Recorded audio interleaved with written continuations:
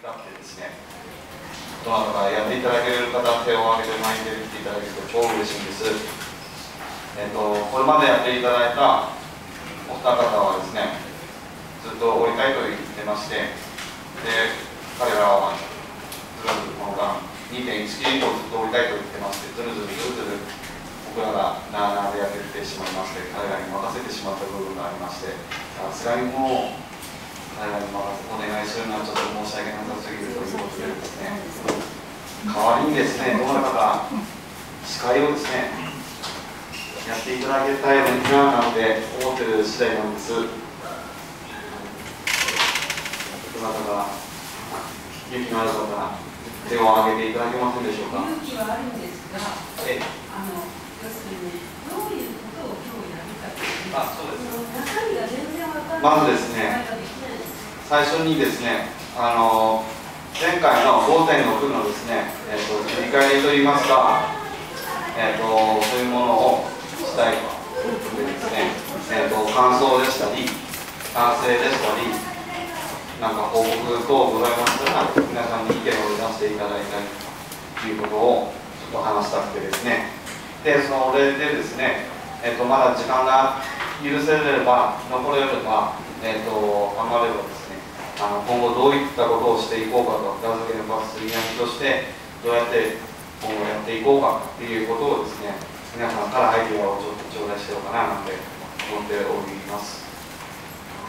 はい、であのやっぱり司会がいないとですねことも進まないものでして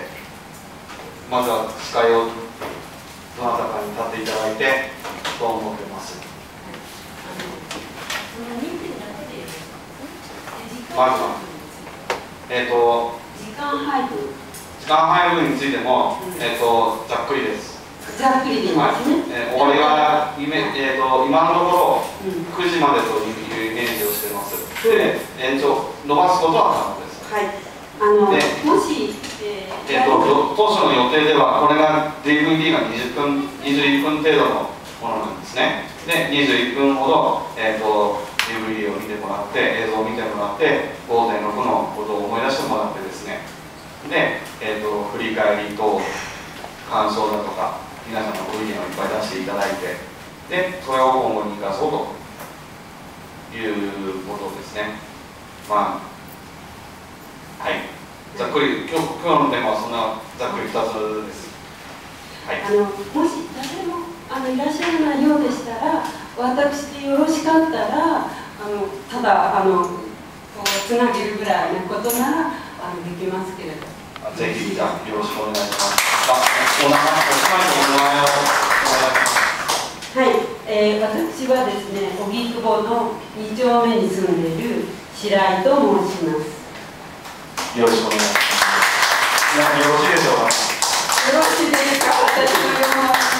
じゃあよろしくお願いしますただほら皆さんの、えー今だからメモしなければあの私って頭をあのすごいああれなので忘れっぽいで今はですね、こっちのホワイトボードにあの別の人間が誰かあのホワイトボードにあげますので、そうですか。それじゃあ、あの、えーメモと両方しなくてもいいんですね。はい。えっと個人的に撮りたいなといただけあのいただければはい書いじゃあ、じゃあ入って早速ですが、はい、はい。じゃあえ、ここに座ると。司会席を申し付けてありますので、はいよろしくお願いします。はい。えっ、と、私は。はい、あのそれではですねあの私のようなものでもあの司会させていただけるということで司会を始めますあの司会に、えー、なあのさせていただきます。えっ、と私はとってもあのおっちょこちょいなのであの皆さんいろいろ教えてくださいませ。えーそれでですね私のまず自己紹介からしますね。っていうのはあの私はむしろデモの、えーなんていうかなはしごをやってる方なんですそれで、えーいつも大人のデモをあの芝公園でやって終わると今度は杉並のこっちの、えーデモに来てデモのはしごをやってますそうするともう本当にその違いが分かりましてやっぱり楽しいんですねこっちのデモは。もうジャンスかジャンスかもう本当にあの仮装はする音楽はする。もう楽しくなっちゃっていつもあのこうはしごをしててその違いが分かってえー、千葉公園はお年寄りのデモ。こっちは若者のデモ。やっぱりこっちの方が面白いね。ということで何回かはしごをしているうちにはやっぱりこどっちか一つってなった時には、えー、いつもあの NHK のあそこのところに集まるのをやっぱり今日はこっちにしようかって言ってその前の時だったかな。あの向こうに行かないで直接こっちに、えー、前回の時に来ましてその時はさすがやっぱり警官がすごい連なってましてあ若い人は狙われてるな。やっぱりここで逮捕されたら後がしょうがないからやっぱり逮捕されないよう上手にあの振る舞った方が長続きするなとかまあいろんな意味であの若者のデモとそれからお年寄りのデモね。お年寄りのデモは太鼓を叩いて、えー、こうダダンタンダダンタンとやるんですよ。またあれはあれでねえー、リズムに乗りますので、えー、リズミカルに私は動けるのでそれでおばあちゃんなんかが車椅子で乗ってるんですよで車椅子を押しながらね私は大人のデモには車椅子を押しながらそのおばあちゃんたちが車椅子を押しながらも自分で叫んでるんですよマイクで。まあ、そんな大人と子供あの子供って言ってる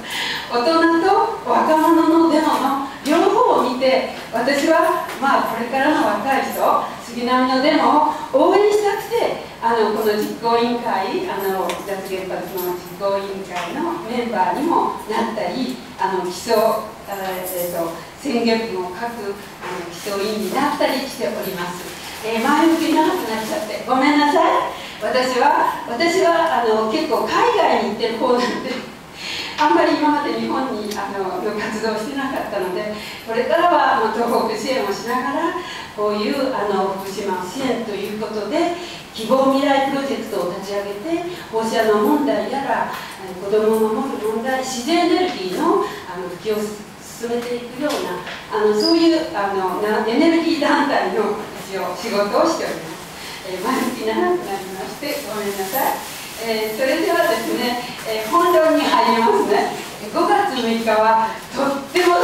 大変な日でしたね。大体ほらあの思ってもいないいいお天気だったのに急にほら雨が降って氷が降ってもう大変な日でしたね。皆さんもうあのいろんなあのあのこの日の反省とか感想とかいろいろあると思うんですね。でこれからあのえー、手を挙げてもらってやった方がいいかこちらからこういうふうに回してもらった方があのいいのではないかと思いますのであの5月6日の反省でも感想でもいいですからこちらの端からあのよろしくお願いします。あの手を挙げるとなかなか皆さんなので一番こちらの端すいません。お名前をであの感,、えー、感想お願いします。ちょっと息を伝えませんあ、ダメですか？じゃあ、一息しますよ。西荻の下から参りました田中と申します。はい。で、あの当日はあの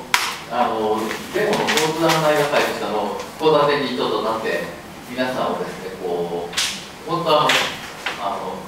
手するようなお手伝いのはずだったんですけどもずっと立って傍観するだけになっちゃったんですが、えー、あの。本当にいいデモだったと思います。特にあのロイターとか AP 通信の方があの取材に来られてですね、海外のメディアが取材に来たというのは非常にあの注目されたんだなと。で、あのやっぱりあの全部の原発が止まったことを祝おうというのはですね、一番この国のメディアとか行政がちらっとして無視してた部分なんですね。それをあのあえて取り上げてですね、あのようなあの文字で人は大変あのできる方かなと思います。まあ、その意味では本当にあの、えー、まあ、そうあの今日はったんですけど、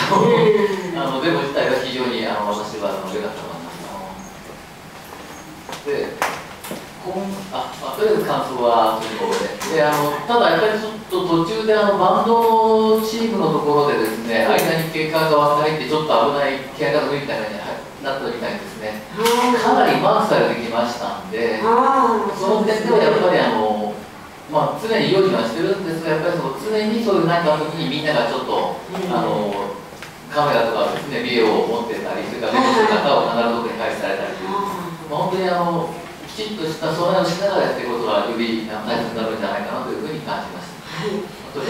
あの今西荻田田中さんからあのすごくいいあの意見があの出ましたね。あのすごく素晴らしかった。でまたあのメディアにも取り上げられた海外のメディア。そしてただあの警官があのマークしてるから、まあ、今後そういうことを注意しましょうそういうそういう、まあ、あの反省と。感想と反省をあの話していただきました。じゃあその次のあの後ろのあの方お願いします。はい今川4丁目に住んでおります縄と申します。えーと、今川4丁目に住んでいます縄と申します。はい、はい、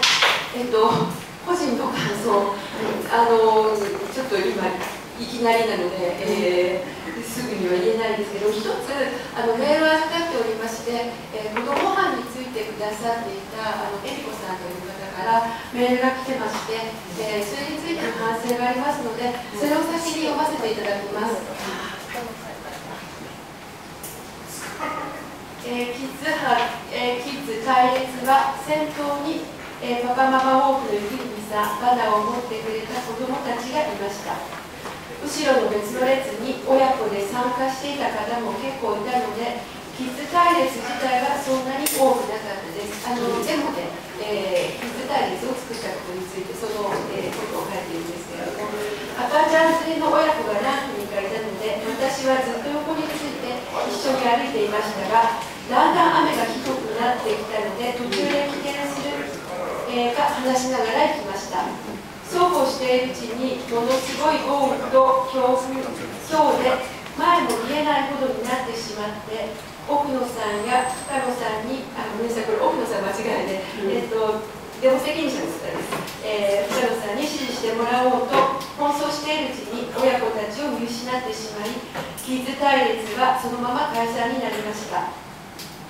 最後までついていてケアもできずどうなったかもわからないまま雨が上がってから途方に暮れてうろうろしてしまいましたえ終わってからあの場にいた知り合いと合流して話を聞いたら赤ちゃん連れのご家族はすぐそばの中華屋さんに駆け込んだとのことでした。お店の方がたくさんのタオルや温かいお茶ドライヤーも貸してくれとても親切にしてくれたそうです。そしてお父さんが車で迎えに来るまで店で待つことができたと聞いて本当にほっとしました。あんな天気になると思わなかったので参加者もみんな軽装で傘もなく事前に天候に関して詰めた打ち合わせもアナウンスもなくスタッフも非常時の誘導などを想していな想定していなかったこと、えー、登山や遠足じゃないのでどこまで装備やえー、準備が必要かなんて事前には言えないと思いますが、えー、いろいろ反省しなくちゃの結構をしてみました、えー、終わってからのツイッターなどで雨にも負けず大盛り上がりみたいな言葉がたくさんあったけれど個人的にはシャレにならんという感じで赤ちゃんが放射能のために打たれるのを見るのはつらかったしこれじゃ本末転倒だよなと複雑な思いで歩いていました。でも参加は基本的に自己責任だと思うけど赤ちゃんを抱っこしたり手を引いて歩いている親御さんはそれだけで手一杯ですえキッズ隊列に関しては周りのスタッフがが気配りしながら安全面に関してもっと慎重にした方が良いのかなと思いました、えそんな経験がたくさんある人たちにお伺いしたいところです。という意見をいただきましてえ、私も本当にその通りだと思いました。うん、あの抵抗に関してどうするかというところに関してスタッフの詰めが甘かったなと反省しております。なんかあの私言い出すとスタッフの反省になっちゃうんですけれども、あのキッズ班に関しては今後、えー、課題としていただければいけないことだと思います。あのまたちょっと自分の考えのまとめに後ではい、そうですね。とりあえず、あの、えー、記事発した意見について、あの、お伝えいたしました。あの、ただいま大変、あの、今皆さんからのお話であの当日は本当にいいお天気だったんですけれどももう赤ちゃん班あのキッズ班ですね。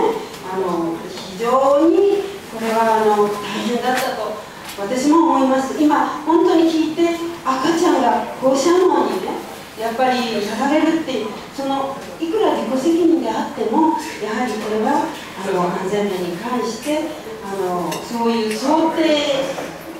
まあ想定内なわけなんですから、まあ、やはりこういう点はあの気をつけなければならないという大変にご意見をいただいて、まあ、これを今後あの、はい、あの皆さんがもっとあの細かくあの後で報告してくださるというので、まあ、これもあの反省点として今後あの生かしていただきたいと思っております。えー、次の方、あの後ろの方、お願いいたします。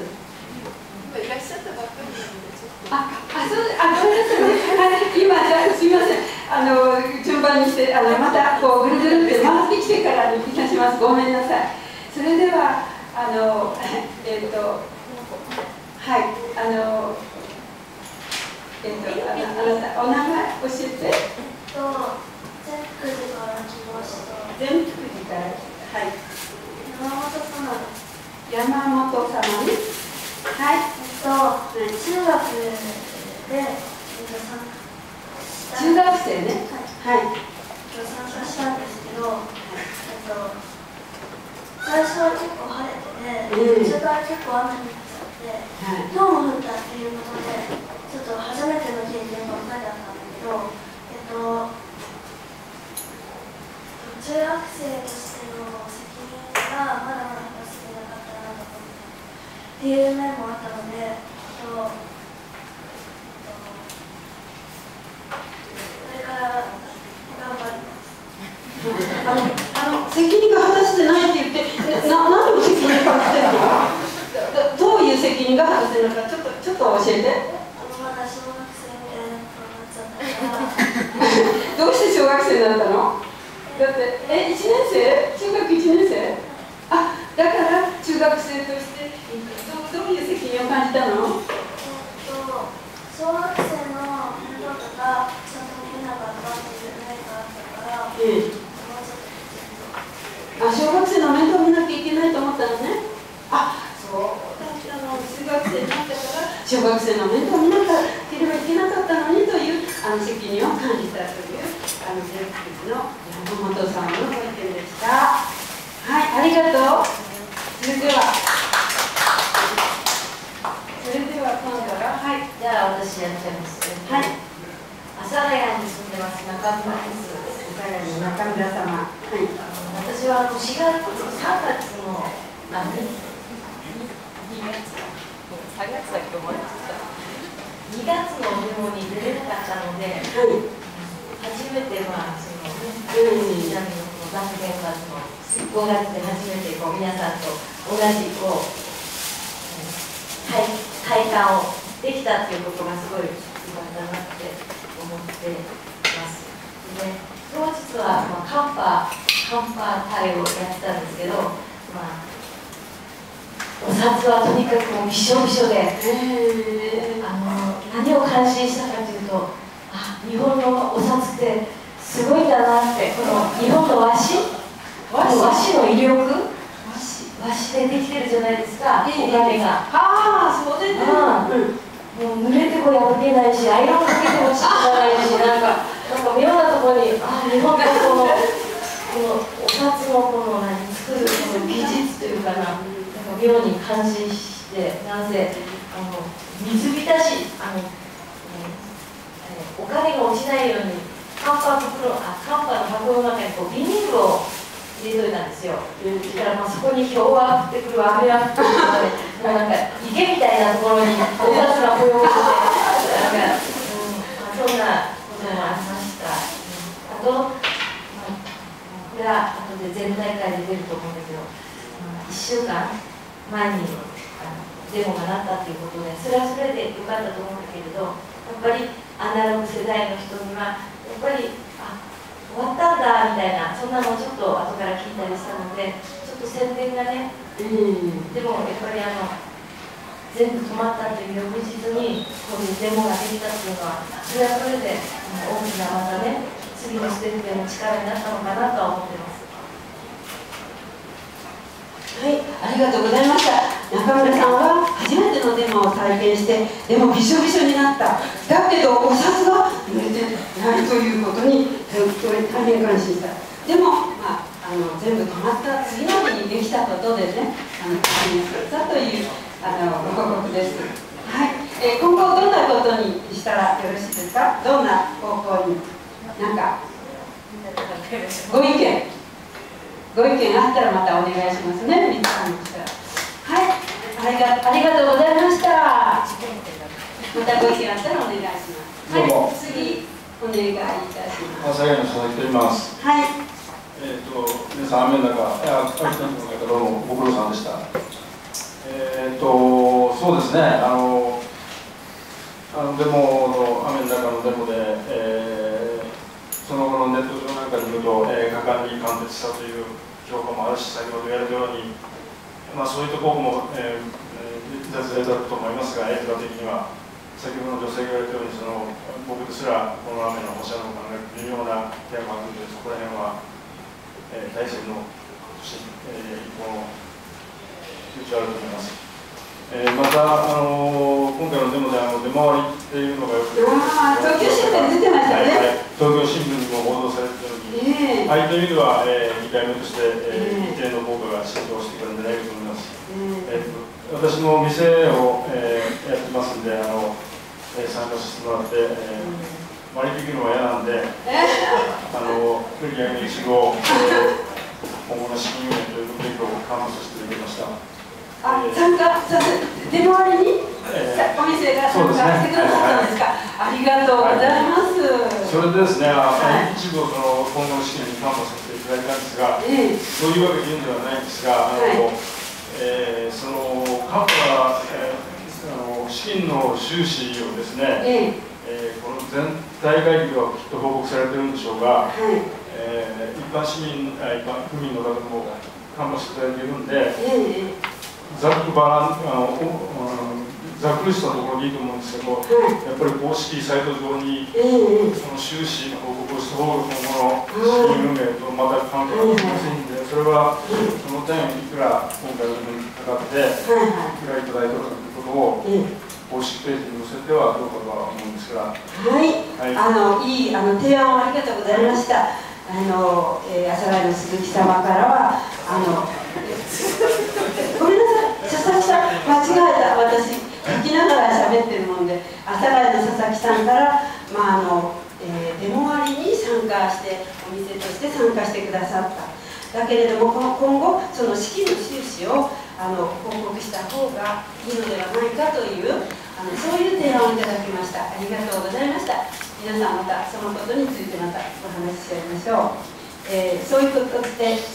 ありがとうございました。佐々木さんの次はえー、と高円寺北に住んでる情報正武と言います。えちょっともう一度はいえー、と高円寺北高円寺2丁目に住んでいます。あの上に保険の方と書いて情報、上に保険の方ねはい情報正武と言います。ようこ様はいはいえー、と、と僕はあの、えー、と今回のデモを初めて参加したんですけど、ちょっと2月は参加できなくて残念なんですけど、あの本当に皆さんそれぞれろんななんか自分のパフォーマンスでこう訴えていて、結構一緒に参加した人は、なんか本当に初めてのこういう感じのデモだっていうふうに言ってて、もう本当にすごくなんか良かったなと思って。でやっぱり前回はね結構インパクトが高かったから今回参加者の方もどうなのかなっていうのがすごく不安だったんですけどなんかもうそんな発表では4000人とか集まってそれもすごいなと思ってあのすごく僕自身も励まされました。であのそうですね。えーっと今後は本当に、えーっと今再稼働っていうのがあの本当に今ねえー法制定で叫ばれているのでやっぱそれを求めるためにやっぱこういう運動を続けていきたいなと、えー改めて思いました。えー今後はですね、そうですねまあ、本当にデモももうちょっとやっていきたいなと。思いますし、前のちょっと実行委員会でも出てたんですけど、まあ、本当に結構、まあ、簡単な感じでいろんな形でいいと思うんですけどなんか学習会とかもちょっとできたらいいかなっていうのを僕は思っててなんか原発なくした後にどうやって転換していくのかとかそういう展望もちょっと勉強したいなとか思っています。はい。ありがとうございます。今、あの、ジョ、ジョ、ジョーコさんね。はい、ごめんね。ジョーコさんから、あの、デモ初めて来た、あの、参加したけれども。大変良かったと。それで励まされたと。で、今後はどうしたいかって言ったら、あの、学習会をできたらいいんじゃないかという。今後の、あの、エネルギーを転換していくのには、学習会が、あの、必要じゃないか。できたらいいなということのご意見をいただきました。ありがとうございました。はい。次お願いします。えっと、阿佐ヶ谷北の野本でございます。阿佐ヶ谷北。はいはいはい、野本です。え、の、はい、野本。野本さん、はい、ごめんなあさのまたこのご飯であの皆さんと歩かせていただいたんですが出発したところであの雨がバーッと降ってきて氷も降ってくるっていう、えーことであのもう少し早く判断してあの行動の方のテントとか上がっていただいた方がよかったなあのでまたその後ちょっと駅前の集会のこともあったのでそのままデモに私あのついてきてしまったんだけどもやっぱりちょっと皆さん風邪ひかれてないかとか心配になりました。はい。あのやっぱりデモをやっていこうというちょっとね出発したところだったんで、早いもう少し早かったんで、えー、会話のふうになりた。ただあのお子さん連れで来ていただいたのは知人の方が最後まで歩いてあの今日途中からあの待機して参加してあの来ていただいたのが嬉しかったです。はい。えーと、野本さんから、野本さんからは、いいいですか、今、はい、えー雨が降って、まあ、氷が降って大変だった。だけど、もうちょっと何か早い判断が、あの、できたら、よかったという、そういうことですよね、お子さんが。うん、で、実はですね、ちょっといいですか、あの時ですね、えー私の近くの、あの、上田、上田、なんだろう。えーほら気候気候の予報士って言うんですか、あの方が分かってたんだな申し訳なかったって言ってましたある程度知ってたのに私が言わなかったあの気候いや予報士っていうんですか？あの気象予報士さんがある程度分かってたっていう今後はそういうね予報のねあれもちゃんとねよ想定そうそうそう想定内なんですからこういうことも今後ねやはりねやるべきですよね。はいありがとうございました。それではあの前の先生はい、えーと、西荻、西荻のね、村瀬がね、ねね、根っこのね、村とか。無駄ですねはい無駄さんえーと、実はこ、の間のデモは参加できなかったんですけれども、実はあの、えー取材班というのをやっておりまして、今、杉並選出の議員ですね、区議、都議、国会議員が、あの、一体、まあ、脱原発についてどういう考えを持っているのかというのを取材班として、あの、動画で取材してるんですね。で、まあ、今、まあ、今のところ、まあ、何名、数名の方に、あの、取材済みで、これから、まあ、編集して、えー見ていただこうと考えているところです。それで、ちょっと、あの、その以前、その、デモを参加できなかったんで、えっ、と、あれなんですけれども、まあ、時間が短かったということもあって、皆さんお忙しいとは思うんですけど、まあ、一点気がついたところを言うとですね、あのやはりこの会議のいいところは、シングルイシューであると、脱脱原発1点で集計をしてる、ね、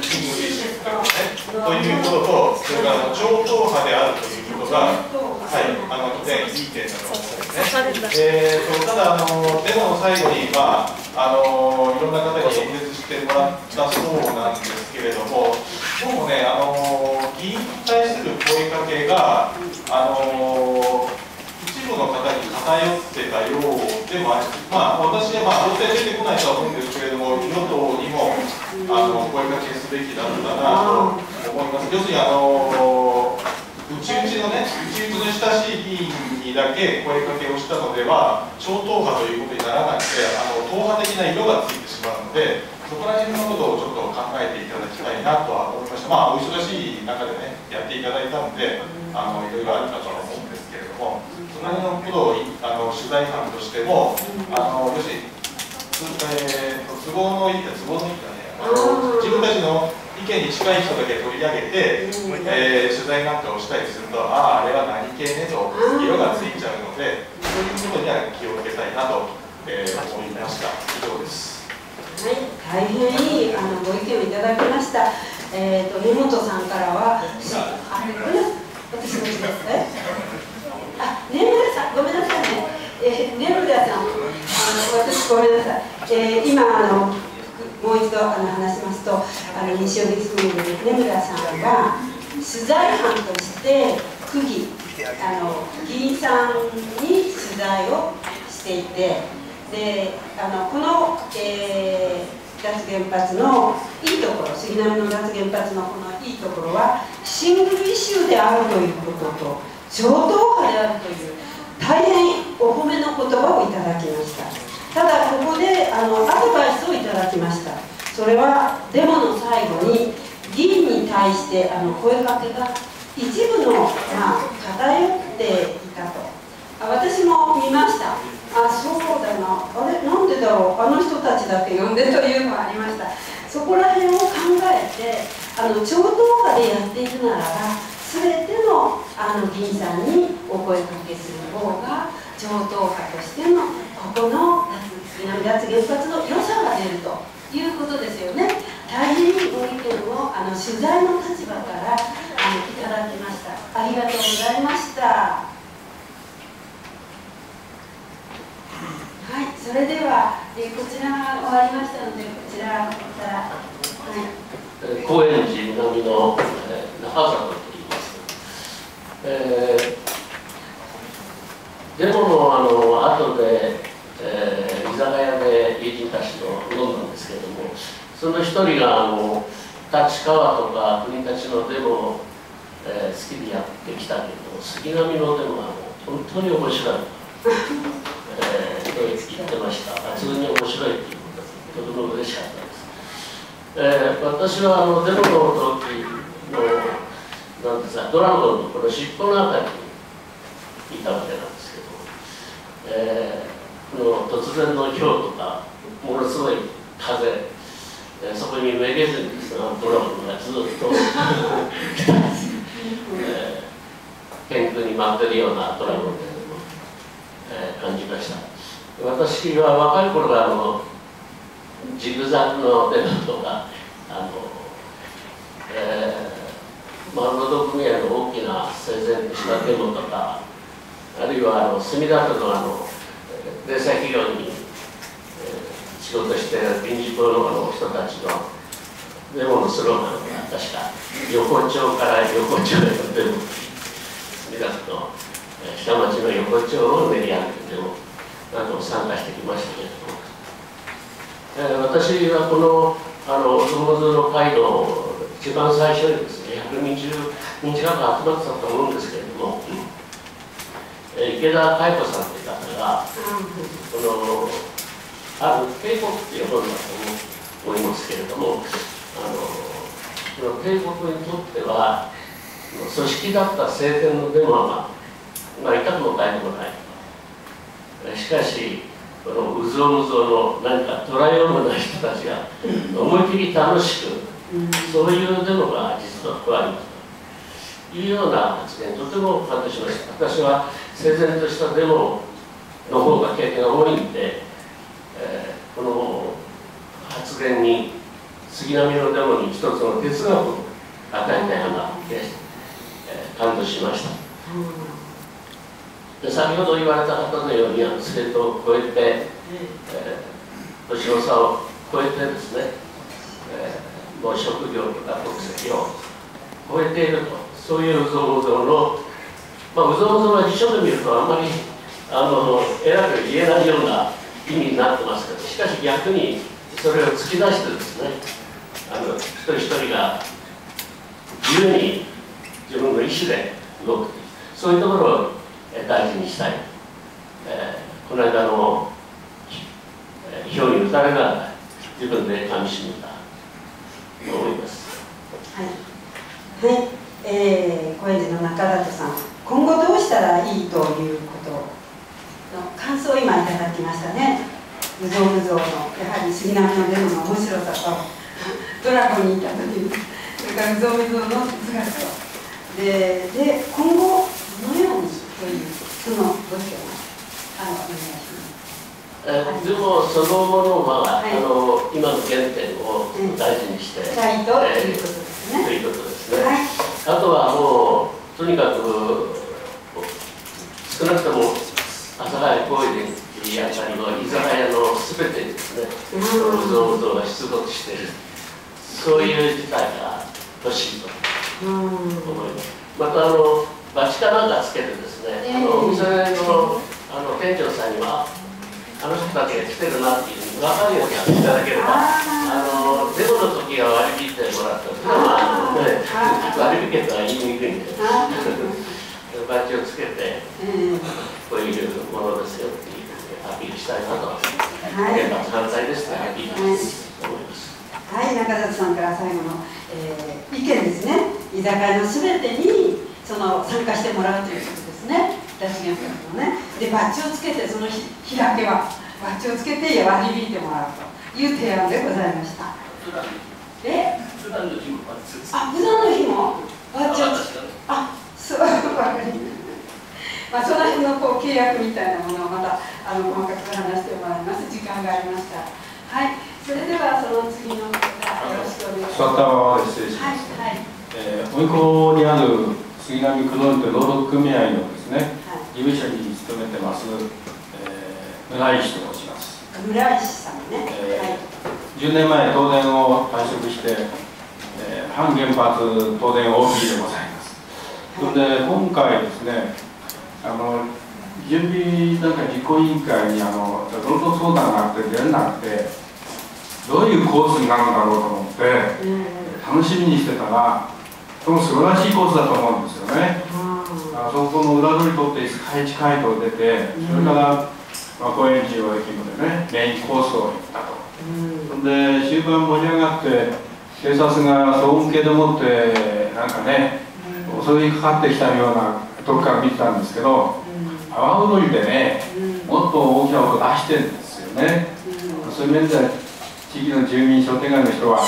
認めてくれるのかなとこれは個人的な感想でございますよね、まあ、そんなところでしたね、でまたあのあ最後にあの、何か提案とか。5月5日でもって、えー、50期とあったということでね、そのお祝いっていうその行政に合った感覚、こういうのはね、とてもいいと思いますよね。難しいことを言わないわけですから、やはりそういうことでアピールするということはね、これからも状況に応じた、まあ、取り組みをしていけば、運動が広がるんじゃないかと私は思います。どうも。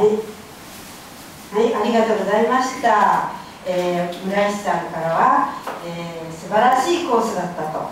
それでやっぱり、えー、その情勢に合った感覚が良いと。これからも、まあ、情勢に応じた行動をしていったらいいんじゃないかというご意見いただきました。はい、ありがとうございました。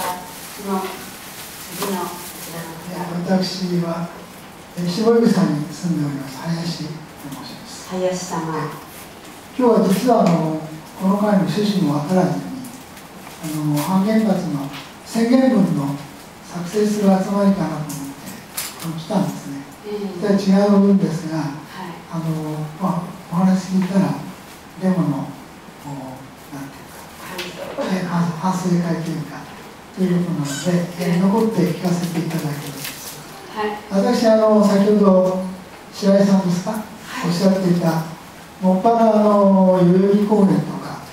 えー日比谷公園とか、あ、同じですね。えーあっち方向にばっかり見に行ってまして、まだあの杉並のデモに実際若者のデモもいいですよ、これから。と思います。あの、えー残念ながら参加していないんですね。えーですから状況は分かりませんが、まあ先ほど死者で、あの風が強くて、えー、氷が降ったり、状況はだいぶ分かったし、大変だったなと思って、えー、ご苦労様申し上げたいと思います。で私あの、まあ、わりかし今回の問題について、いろいろと勉強している方ではないかと 自負しているんですが、えー勉強会に集まるのが、大体私の年齢が多いんですね。もう80歳近いんですであの、えー、いつもその中で言うのは若い人の参考はないねということを嘆いてずっと来ていました。で今ここに来て感じたんですがあの待ってるんじゃなくてやっぱり後ろには若い人のグループに出ていかなくちゃいけないんだなとつくづく思いました。ですからぜひ情報を公開していただいてこういう集まりあるよっていうのをですねできるだけ広く流していただければあのおそらくこういうところに入りたい年配者も結構多いと思うんですね。ですからそういうふうにしていただこうかなと思いました。はいありがとうございました。それからあのデモなんですが確かにデモに行くとですね、あのこう連帯感でえーまあ、みんなやってるんだなというんで力づけられるんですがこうやって一人になるとちょっとなんかあ寂しいっていうんですかね、え、何したらいいのかなと思いますね。だからやっぱりあの一人でいる時もですねやっぱりしっかりその力を持ってやっていく。まあ、デモはその一つの発露でむしろ日々の日常の方こそ大事だなと思いたいんですね。だからやっぱり本当に僕は今一日一日が戦いのように思いながら暮らしております。まあそんなことでぜひ若い方々と一緒にやりたい気持ちでいっぱいです。はいありがとうございました。えー、あの、えー、林さんからはあの、えー、若い人とこう勉強会を広くやっていきたい。でそういう、まあ、広報があればあの、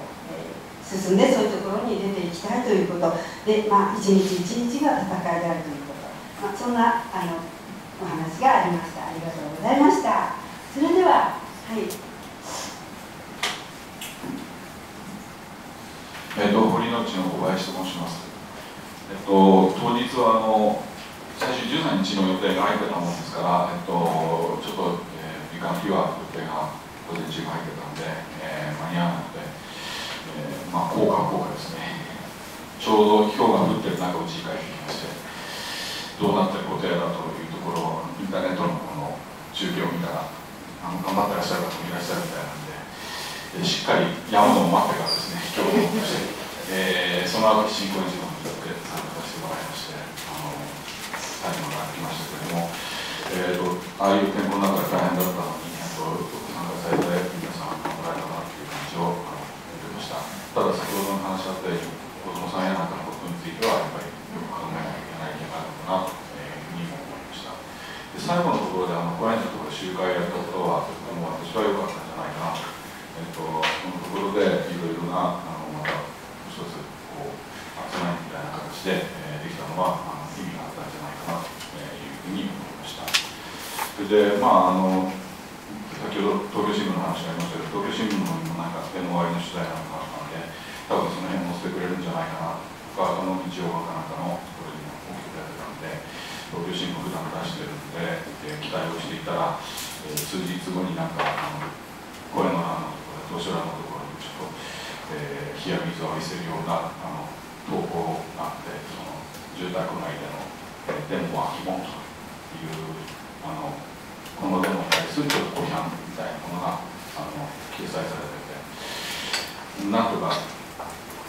反応したいなというところという気持ちとあのただでも反論っていう言い方をしてると外出するだけになっちゃうかどうかなというのでちょうどその投稿の下のところにですね、えっと、もう一つの投稿が入っててそれは何かというと駅で病気になってる人がいるのに無関心でみんなが通り過ぎる。えー、無関心のことについてあの寂しいっていうような当初がその、えー、住宅街のデモは日本っていうその規範と一緒に出たんですね、でそれがあったんでああのある意味ではねあの批判はされてるけれどもデモに関心持ってくれてるんだと、疑問と言いながらやっぱり関心持ってくれてるんだから、えっと、まだいいじゃないかというところで前向きに考えてだからそういうのをちょっと文章を考えてあの投稿しました。で数日後見せてもらったんだけれども、えっと、このところの趣旨としてはやっぱりあのこういう動きに対してより広いところの人たちとつながっていけるように考えていかなきゃいけないんじゃないか、えっと、進化させていくことも大事だけど常にこう広がりとかそれからいろんな人との連帯っていうのをあの忘れないでやっていかないといけないんじゃないかなというふうに思ってます。これからもだからそういう2月の時のデモもそうだけど疎外感のないようなデモがまた継続されたりとかいろんな集会のところでいろんな人たちとかいうのと対話ができるようなそういう動きでやってほしいなと、えー、脱原発反原発っていう人たちだけで盛り上がるんではなくて、えっと、もっとそういう人たちをいろんな立場の人を取り込んで一緒にこう考えたりとかいうふうにできればいいなというふうに思ってます。はい、はい小林様からあのやはり、えー、私は読めなかったんですけれどもあの住宅の間のデモに対して禁止という投稿が出ているのに対して、まあ、やはりここで、えー、そのある反原発脱原発の人だけがこう、まあ、寄るっていうんではなくて多くの人の広がりという人との連帯をこれから考えていったらいいんじゃないかというあの大変貴重なご意見今後のあのデモに対するご意見をいただきました。ありがとうございました。えー、それでは、えー、次の、えー、はい次お願いします。えっと松野木大臣の大門と申します。大門さん、はい、大きい門って書きます。はい、はい、えっとですねあの、はい、私の感想というと、まあ、いくつかあるんですけどあのちょっと膝がですねあの膝を痛くしちゃってるもんですからあの変形性ひざ関節症というのかな？まだ若いのに 膝がぼっかれちゃって。あのデモの隊列にですね本当は入りたいんですけどもあのなかなかガンガンとね、えー、皆さんと同じように行動できないのでいつもあの私自転車で沿道から、あのまあ野じ馬根性丸出しでですねあのあちこち行ったりして、えー、そういう参加の仕方をこの間最近やってるんですけどもあのまあという視点から見てると沿道の人とかですねそれからあの沿道の住宅の方なんかの表情っていうか反応多少は見れて、えー、まあそれぞれ様々なんですけどもかなり手を振ったりですね非常に興味津々何事かっていう表情も含めてですねあの大きな反響があったかなと。ただ一部は本当に狭い道入りますですよね、あそこは住宅地もいいところで、ね、さぞかし、あの昼寝の真っ最中の人とか、ね、声が出たから来たんじゃないの？っていう。あのそれこそ何何事かを通り越してですね、あのいい迷惑だったんかなと思います。でまあそれでですねあの、えー、デモが高円寺に到達してで人のいろんな演説会みたいなのもそっちも興味津々だったんですけど、うん、あの誘われてですね、えー、段階の世代の方々の集まりに私のこの方がついてたんですね。さらに具体的に言うとあの日大全教頭の OB なんですね。えそれ終わってからのことですか？終わってだからそっちのあの飲み会の方に、飲みね、合流しちゃって、はい、これが私的には本当に面白かったです。あのかつての日大の闘争ですね、あれ68年でしたか、うん、それのもうほぼ中心メンバー、うん、えー、杉並に在住の方もいらっしゃるし、まあ、同窓会っていうか、うん、あるいは言葉変えると戦友会っていうかですね、戦友ですか、えーそういう方々の、まあ、いわば段階の世代ですね、その方たちの非常に熱い話を聞けてよかった、うん、でたまたま私は70年に高校入学なんですよね、うん、だから、えー、で高校生の時にあの男子校だったんですけど、うん、あの学生部反対運動の真似事みたいなことやってですね、あの議長なんかやってただなぜか先生に先生の策略に騙されて敗北したっていうことがあったんですけども、うん、で東京出てきたら田舎ですから東京に出てきたら思いっきりその学生運動やりたいなと思って、うん、えー、張り切って上京してきたんですけどももう私があの学校入る頃はもうほとんどん末期現象っていうかですね、うん、あの例の連合赤軍事件とか、うん。まあそんな時代だったもんですから段階の世代に関してはとりわけあの恨みつらみも含めてですけどそれの発散もありましたね。そんな話が非常に面白かった。それからもう一つはあの前日からあの今日いらっしゃってないですけどや山本ヨハネさんですね。あの真ん中の彼の助手みたいなところであの大きなあの縦看板じゃないですね。何ていうんですかね。あのお絵かきをですね、えー、先日のお昼過ぎから夜中までやりました。で漫画家の誰ですか？山本ヨハネさんですね。ああヨハネさん、はい、であの昼間は公民館と近くの公園の両を使ってやったんですけど公園まあお絵お絵かきですから公園で遊んでる子供たちが寄ってきて一緒にお絵かきごっこやって。あそれは脱原発のお絵かきですか？そうですあの山本ヨハネさんが下絵を描いてくださって、で大きく原発ゼロだったかな。原発ゼロ、でこれ子供たちが参加した子供たちがあの公園で遊んでるもんですから、公園で、ね、何やってるのかってみんなあの書かせてねっていうことで、それ以上にあの一応ま。あ取り手もないので、まあ、なれるのに時間、ありがとうございました。なんか、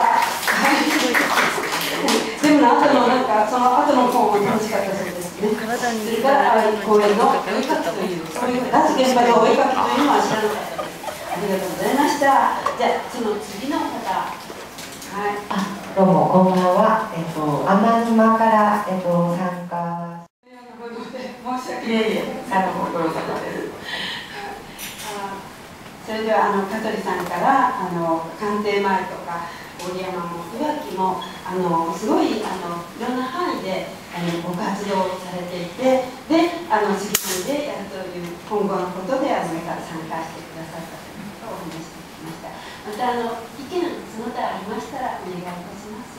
それでは、えー、次の方お願いします、えー、阿佐ヶ谷南2丁目の奥野と言います。奥野さん。はい奥野です、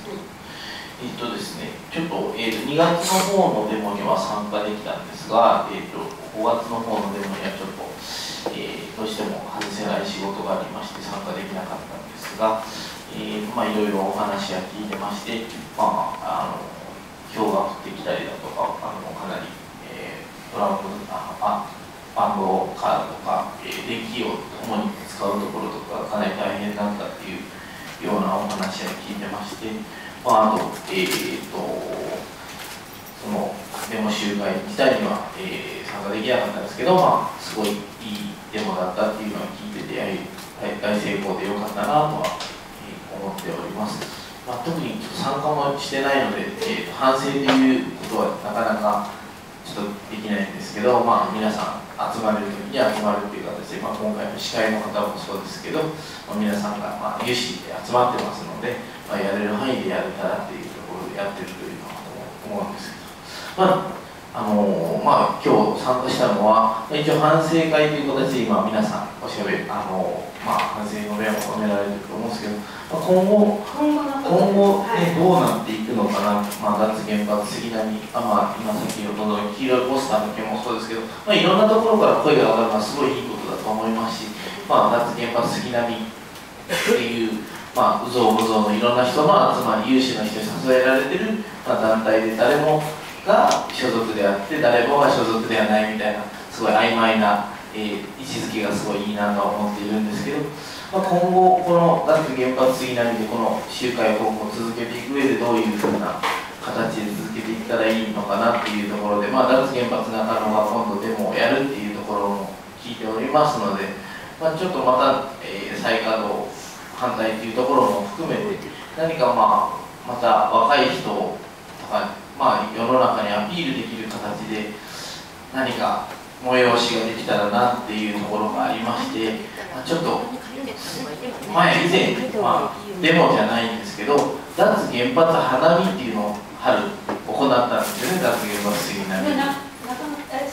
脱原発杉並でえっと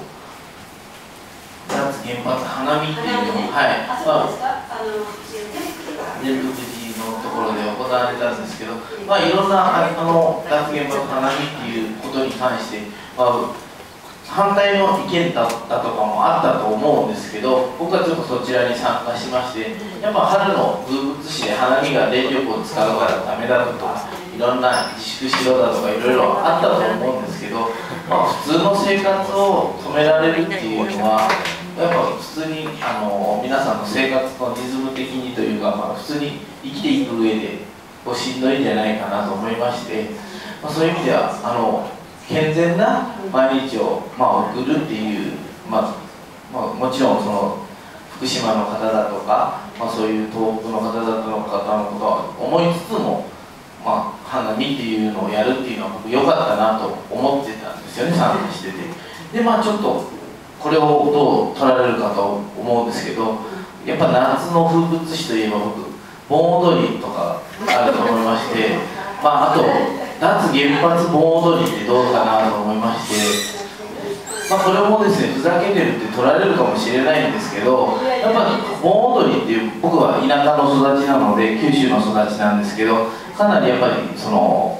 地元の風物詩としてやっぱり死者を鎮魂するという意味がやっぱりあって福島のこの原発の事故以降、まあ、本当にその津波とか、まあ、その辺で亡くなられたのではなく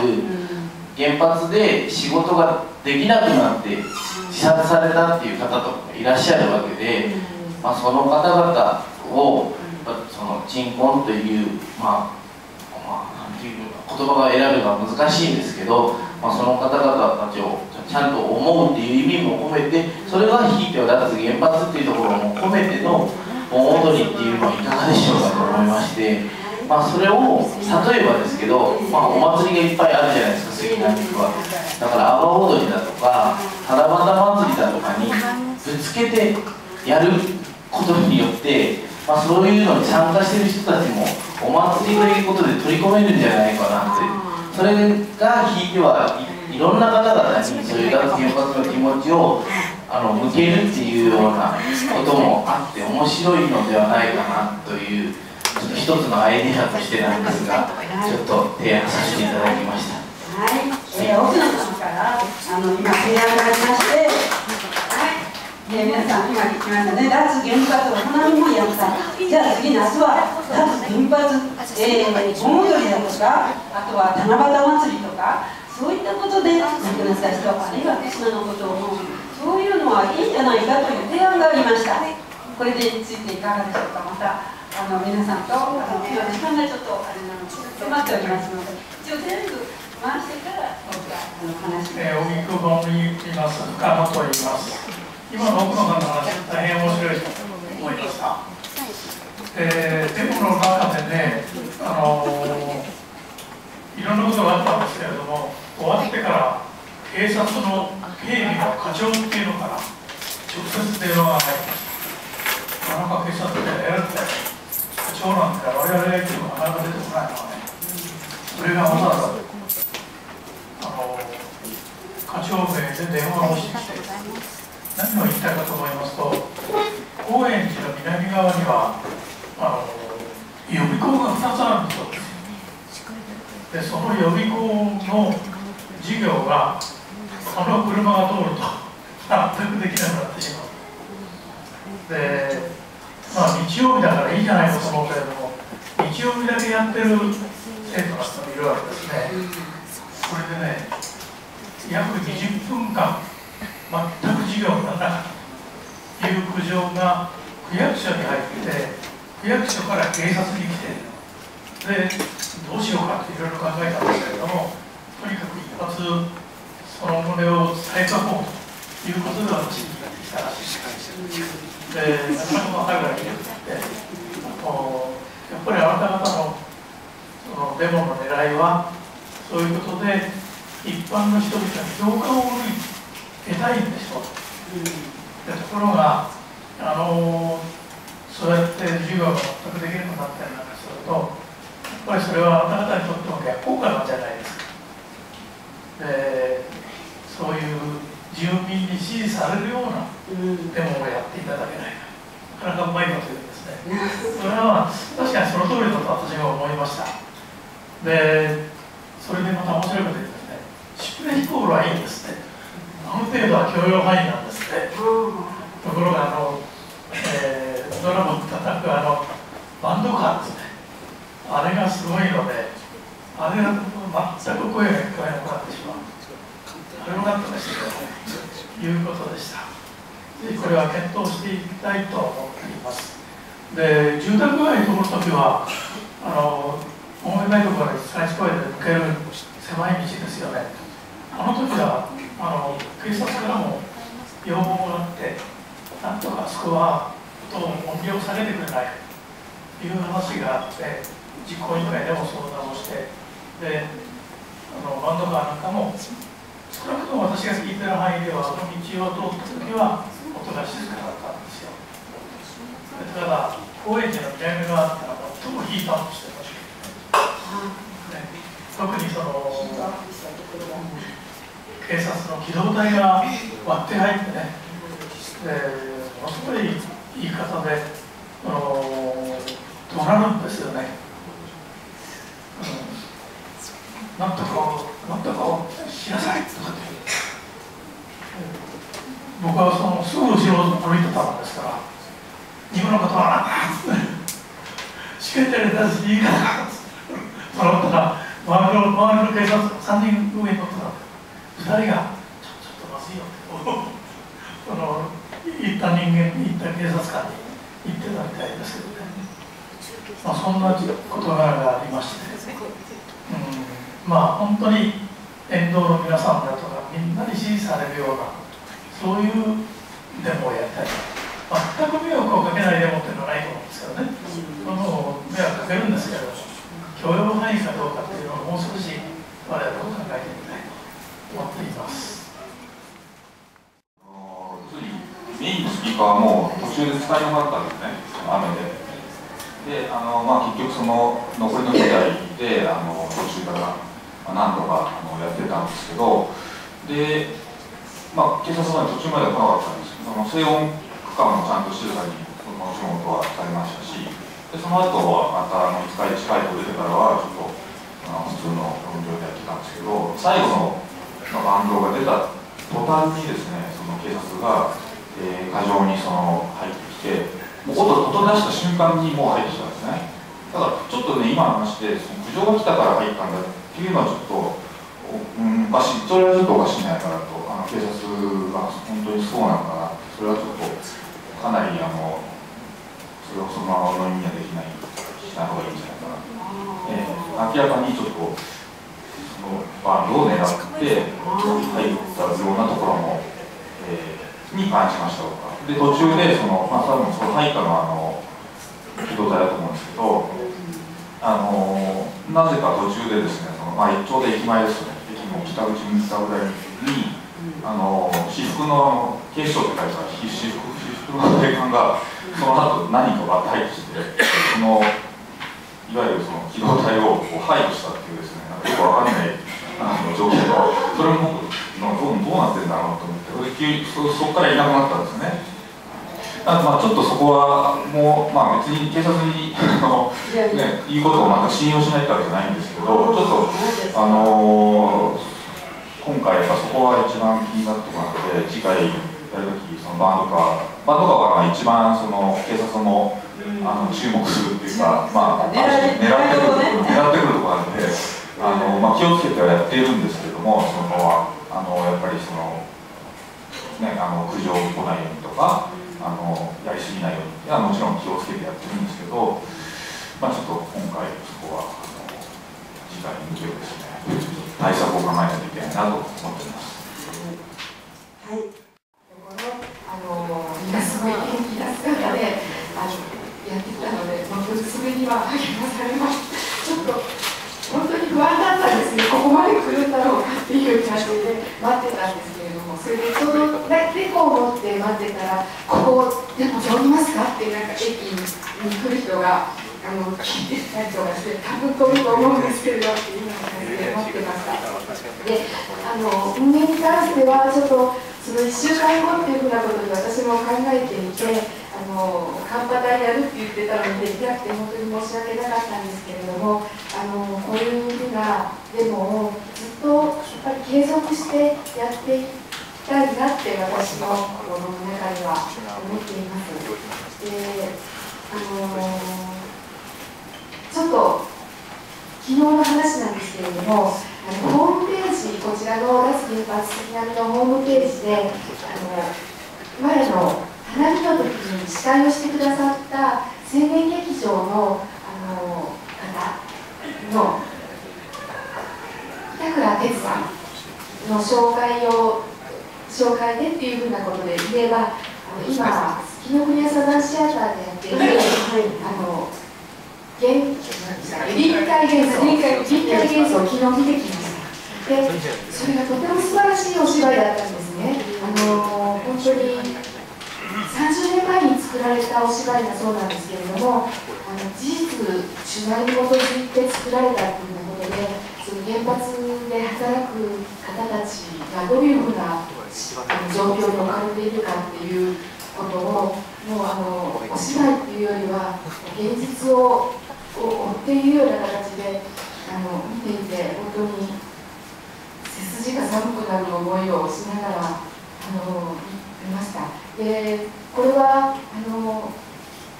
なんていうかただ宣伝劇場の宣伝とかそういうふうなわけではなくあの今原発の関わってる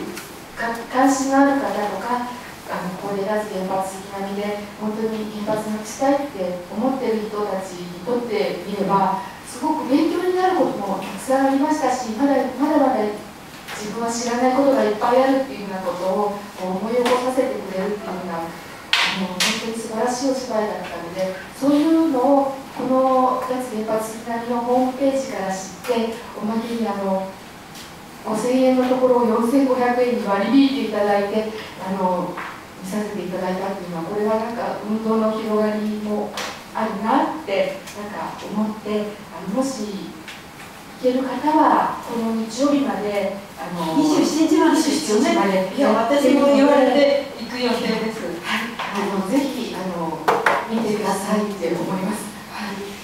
であともう一つさっきちょっと出たあの夏の盆踊りどうですかみたいな話があったんですけれどもちょっと私今日あの私労働組合で勤めてるんですが他のあのちょっとデモでたまたま私の友達の他の原発反対の運動してる方からちょっと買ったあの手ぬぐいを巻いてたんですね。これを巻いてあの別に脱原発のデモじゃなかったんですけどこれ巻いてたら友達から「えそれどこで手に入れたの？私も欲しい」とかいうような感じのことを言われたんですね。でこういう手ぬぐいなんかは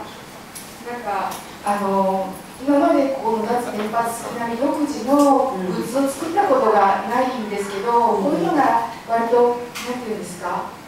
あのコストも安くできてもしかしてこういうのを売って財政活動とかもできるんだったらあの図柄をなんか例えばプロの山本さんに書いていただいたりとかしてそういうなんかグッズもできれば楽しく活動できるんじゃないかななんてことを思ったのではいどうでしょうということです。山本様からご提案としてあご紹介は臨界幻想のご紹介ね。これはあの本当に原発に働く人々のあの実態をあの前に切ったので皆さんがどんなあの議論されたのかちょっとわからないまま。あの言いますね5月の6日そう感想とそれからなんか意見とか提案とか、はそういったことに対して。はい。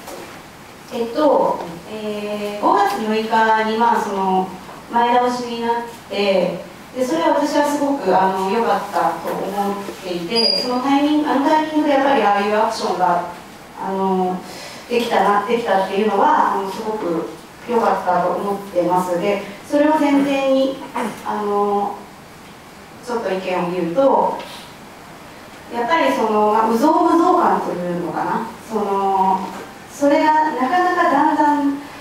減ってきてるかなっていうのがあってその やっぱ2月19日の1回目のデモの直前っていうのはやっぱりその直前の会議っていうのはあのすごくね120人ぐらい集まって本当に熱気があってとんでもないアイデアがいっぱい出まくってそれやろうやろうっていうようなこうそういうなんかうぞうむぞう感が本当にもう文字通りうぞうむぞうな会議だったと思うんですけど5月月6日の、まあ、直前の会議にそれがあったかなっていうとなかなかまあいいんじゃない？やればいいんじゃない？でもちょっと自分は無理かなっていう意見が、まあ、目立ったかなと思って。でももうそのやる日は決まってるしやらなきゃいけないっていうのですごく押し切った感があったと思うんですよね。でまあ、その会議からしてこれはその2月19日以降の会議でも、まあ、何人かの方が何回か指摘したと思うんですけれども、まあ、見知った顔にだんだん限定されて固定化されてきていると会議の参加者もね。でなんかねそれを払拭しないとやっぱうぞうむぞうというふうに歌ったデモにはデモとかアクションにはなかなかならないのかなっていう気持ちが私はしています。でやっぱりその会議からして準備会からして企画の段階でいろんな人が集まって無造無造感たっぷりのなんていうのかな会議にする人かな。もっともっと裾野を広げていくことが会議の段階から必要だなと思った。から次のアクションっていうよりはこの私たちのやってる準備会をもっともっといろんな人に来てもらうためにはどうしたらいいのかなっていうことにこう知恵を出し合いたいしそれができなかったらちょっと、まあ、私は個人的に次のアクションはなかなか難しいかなっていうのが率直な感想です。でそうですね。あとあの私デモ割りをやあの今回担当したんですけどデモ割りもねもうちょっと広げたかったんですけど、まあ、それでも20件参加してくれてあのデモ割り班はこれからちょっとどういうふうに進化させていこうかっていう話をあのしてて今度の日曜日にデモ割り会議っていうのを夜やろうと思ってるんですけどでそれをユースト中継しようと思っているのであの9時から。でアイデアも絶賛募集募集中ですのでぜひあの皆さん 見ていただけたらなと思います。以上です。あそれであとさっきのあの加藤さんとか深野さんがおっしゃってたあの警察の話っていうのは多分木下さんが一番詳しいと思うんだけどあのほらバンドカーのところ。うん。木下さんに話してもらったらどうかなと思うんですけど。え何話す穴水さん。のバンドとかは穴水さん。いるじゃんあでも木下さんはいえーと今中村さんの話で、えー、9時からというのは何日あごめんなさい日曜日の日曜日はい27日はい27日の9時からあの準備会ですね、えー、あ準備会というかえっとデモ会議デモ割り勝手に勝手に開くんですよ。はいデモ割りの会議ですよね。話し合いですね。そうですね。進化する。これからどう進化するかという話し合いに、まあ、27時9時からだから皆さん参加。あの勝手にやるのでよかったら、はいはい。ユーストで見てもらえたらなとユーストリームにさユーストリームを見るということにそうそう。そう会場も別にそんなパイロット抑えてるわけじゃないので。はいはいツイッターでも意見募集しているのでよろしくお願いします。ツイッターでも意見を募集してるし27日の9時にユーストリームでねあの見られるね警察とか。それをあの今あの皆さんにご紹介すればいいんですね。それからあとそのえー、っと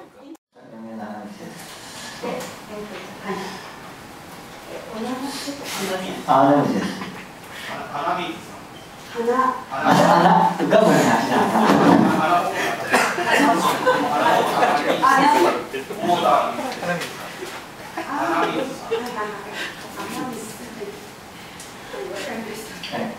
えっとサウンドカーについては、まあ、明らかに警察の弾圧これあったんですけれども、まあ、それをこの、えー、出してきた杉並としてどういうふうに位置づけるのかということはやはりちょっと皆さん考えていった方がいいんじゃないかなと思います、うん、これは別に何ていうのかな。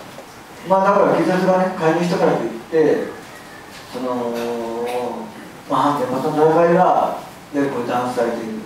あるいは杉並の住民の戦いというのが弾圧されているそういうふうに位置づけるのか。それともそのために、まあ、サウンド会っていうああいう単純な表現が記されたというふうに落ち着けるのか。ということも含めてで皆さんで研修し合った方がいいなと思いますちなみに僕はその時に、あの警察の介入当事者であるんですけれどもちょっと僕はあの時にもかなり頭に血が上ってしまってあんまり状況をちょっと覚えてむしろ気が付いたら周りの人に抑えられて友達が状況なので、まあ、むしろあの時のことを客観的に、ね、説明できる方などいらっしゃったらむしろ教えてほしいぐらいなんですけどもどうでしょう？あの時、ま、周りにいたのって誰？梅蔵君いたよ梅ちゃん梅ちゃんんですねそれで僕突っ込んじゃってきそうな感じだったんだよね多分えー、サウンドダウンとについて、はいはいはい。じゃあ、さっきのさんの話で、まあ、要するに、まあ、その、あのお名前ちょっと。あ名前は木下と言います。えー、木下はい、はい。はい、えー、だから、その、経過としては、その、まあ、えっと、最後にパンツ、まあ、ミアのトラックの人が変わったときに、あの、上の演奏者が変わった変わった後にですね、で、その、演奏者と、その、まあ、その、後ろのその隊列の間に警察がまあ、あっと割って帰ってきたんですよね。うん、で、その、当然それ割って帰ってきたら、なんで当然入ってくるなったこと、こちらは申し合わせしません。から、なんで入ってくるんだって話になって、まあ、ちょっともあの、まあ、えー、もみ合いみたいになったっていうのが、大雑把にはそういうことだったんですよ。で、まあ、ちょっといろいろトラブルがあって、まあ、ちょっと捕まりそうになったまあ、僕もちょっと捕まりそうになったんですけども、だったのありましたけども、まあ、うまいこと捕まらずには済んだのは済んだと。ただ、いつものこれはあるパターンっていう、この杉並デモだけじゃなくて、その警察はまあ、あるターゲットにつけたら、そのターゲットのところで、そのデモの隊列とその中の間に入ってきて、えーまあ、要するに演奏者に共鳴して、デモが騒乱状態になるっていうのを防止するっていう名目で入ってくる。何度かあって、それでまあ他のデモでも、それでデモを埋めたことで逮捕者が出るとかあったので、そういう意味では結構シビアな状況だったんですけど、で、そんな感じですかね、上田さん。かな？今まで、そういうのが、まあ、たびたびね、続きてあるけども、どうなんだ途中からあんなふうに入ってきたのって、今回初めてなんじゃない？どうなんいや、これまで渋谷、渋谷、去年5月の渋谷。渋谷もそうだ渋谷もそうだってね。ドア玉からじゃなかったあれ違う、ドア玉じゃなかった。渋谷の時も、あの渋谷代々木公園の5月の時でも、これ言ってないんですけど、あの時光さんまった時のやつっていうのは、同じように途中から入ってきて、あなったと思うんです最初からいなかったと思うし、まあ、地域で9月11日の時やって、一応途中ですよね、はい、出発してすぐだけども。だから初めてじゃない。あれまで知り合ってたそうそうそうそう。うんそんな感じだっけど、何か？ちょっと不足があったあ、先にちょっと先にめめまあ、先ほど深野さんがあの最初にその、ね、警察と話したという話からの話になったんですけど、まあ、なんでちょっとこうあの、まあ、当日その杉並署とあと機動隊あと警視庁もいると思うんですけどその辺のこうどういう話まあ多分ねあれ機動隊がやったんですよねだからその杉並署はそれに対してどう考えてるのかとか、まあ、やりすぎだと思ってるのかどうかとかそれはちょっと聞ける人がいたりちょっとなんとなく聞いといてほしいなっていうのは、やっぱ今後、次回やるときにもやっぱりそのそこは一番考えなきゃいけないところなんで、あのお願いしたいなと思うんですが、いかがでしょうか？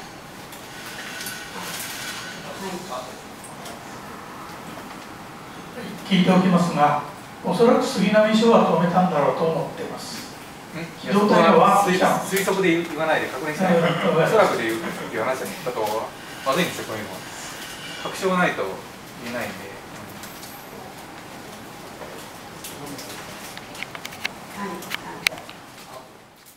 人もいればね、自分の絵を描き入れたい人もいる、それが赤い色が強かったからってね、これがダメだとか言ってるのと同じことなんですね。これちゃんと集会結社言語の自由という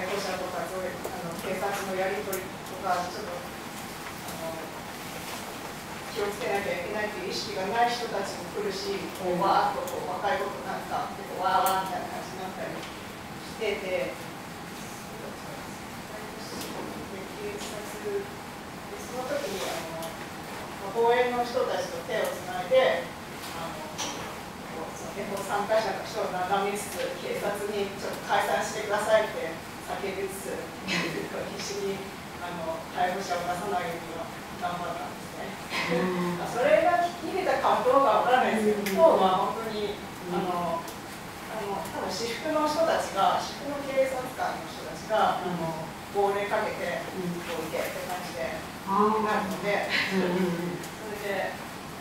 でそれまた私服の人たちの命令によってスタート切っていたので、だからそれあの逮捕者を出さないようにしたいとこちら側がどうなり願っても、向こう次第のあれなんですよこの間の北九州の瓦礫の拡散のあの反対した人たち人たちも逮捕されたのもそうですけどで、それをまたね、マスコミとかは、その権力者側の言い分だけ聞いて、ま、す、本当にね、2つ原発、これもずね、命を守ろうとしてる人たちの声がまるでなんか被告人みたいに使われてて、すごい。いや、どうちょっと、もう国になっちゃった。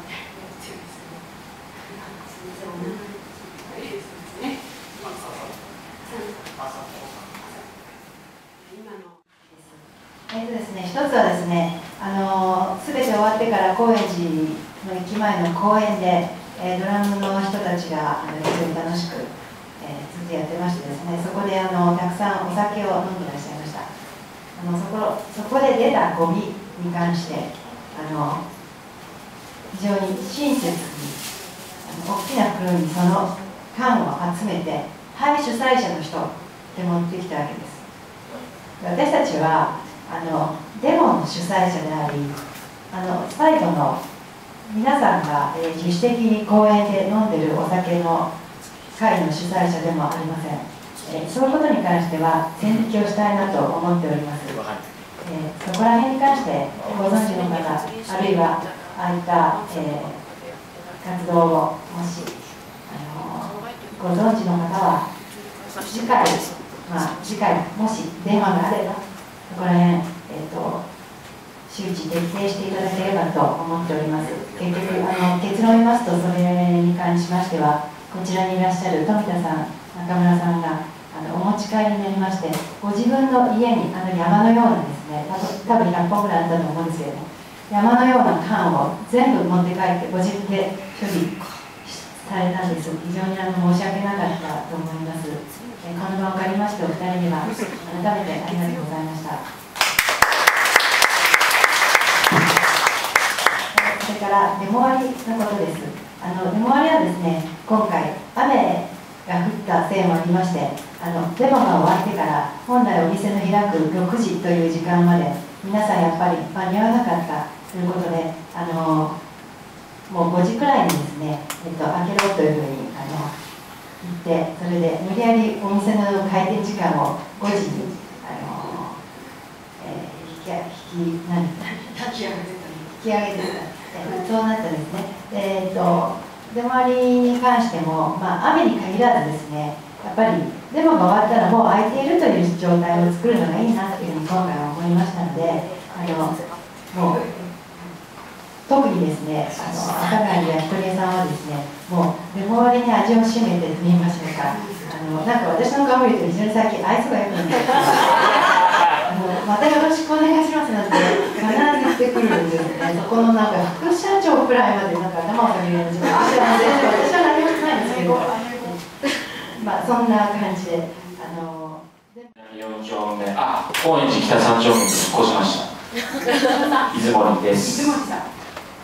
えっとさっきのあのサウンドカーの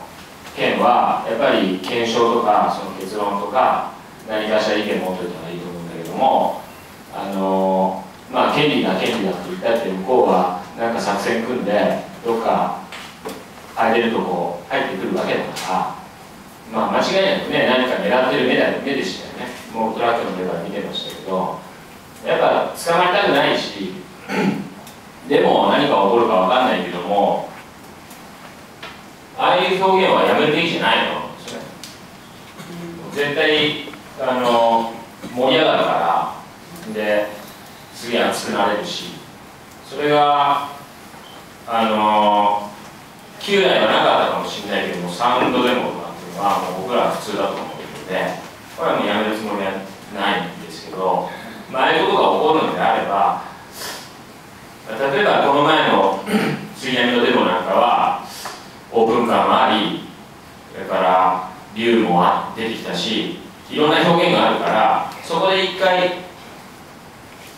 打たない音なりが止まっても他で表現があるのカバーできるっていうような考え方で何とか回避していって